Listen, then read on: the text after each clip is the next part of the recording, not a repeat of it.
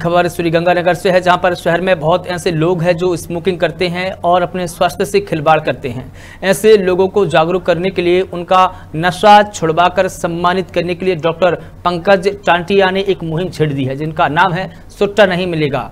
Doctor Pankaj Tantia ने पुरानी आबादी केमिस्टों के सहयोग से होटल हुक्मी हेरिटेज में आयोजित कार्यक्रम में कैंसर की भयावहता के बारे में जानकारी दी। वहीं पीबीएम के कैंसर रोग विशेषज्ञ डॉक्टर टांटिया ने बताया कि अपनी संस्था उम्मीदों के ज़रिए कई शहरों में नशे और कैंसर से जागरूकता के लिए ऐसे कार्यक्रम आयोजित कर चुके हैं।